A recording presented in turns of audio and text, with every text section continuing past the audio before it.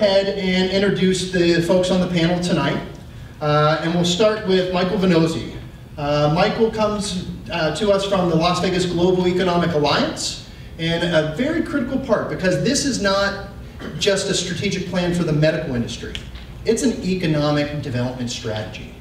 So I'm going to ask Michael to tell us a little bit about what that means. And Michael was instrumental in writing uh, what's called the CEDS plan, which is a comprehensive economic development strategy for Las Vegas. And Michael, if you could just tell us a little bit about uh, how this plan fits into the overall regional plan for economic development. Sure. So um, if you are not familiar, we have a comprehensive economic development strategy, or CEDS. Um, it is a document that is sent to the federal government, and it basically makes us eligible for federal grants from the Economic Development Administration, which is part of the Department of Commerce. In that CEDS plan, um, and you know, I, I wrote a lot of it, um, we have a specific goal, uh, a, goal, I'm sorry, specific goals around seven key industry clusters. Gaming and tourism is, is a big one, um, but healthcare and uh, life sciences is a huge one as well.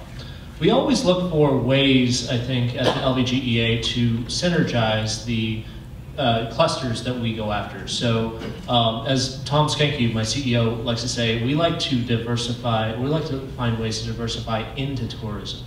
And I think that uh, medical tourism is clearly you know, a synergistic way that we can do that.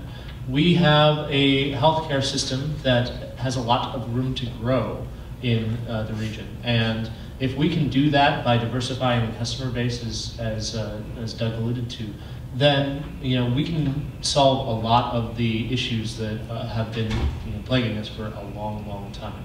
So you know we are involved in this because uh, medical tourism and really healthcare is is really, really important to the LVGEA, really important to the regional economy, um, and we have a part to play in recruiting and uh, helping to expand specific, really high impact companies um, and industries that could catalyze this, uh, uh, this cluster going forward.